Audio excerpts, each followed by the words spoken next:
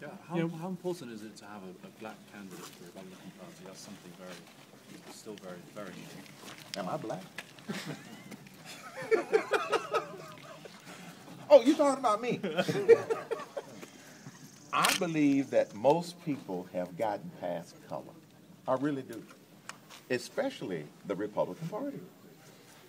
My background, for some of those, some who may not know me, I grew up in the South, uh, Atlanta, Georgia, during the civil rights, before and during and after the civil rights movement.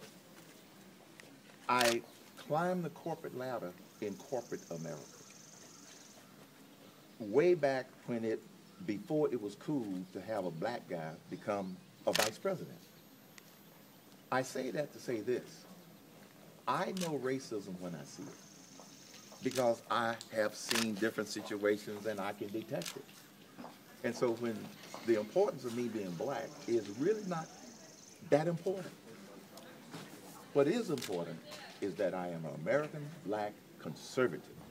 My conservative credentials and being patriotic American are the two things that most people that I have run into have appreciated most about my candidacy. W- Would you credit President Obama for uh, breaking that, that glass ceiling, whatever you want to call it, in, in the way he did? If he had not been president, I still would have done what I am doing if I had disagreed with whoever was in that, in, whoever was president. If Hillary Clinton had been president, and if she had done the things that President Obama is doing and has signed and allowed to happen with the Democrats, I still would have run.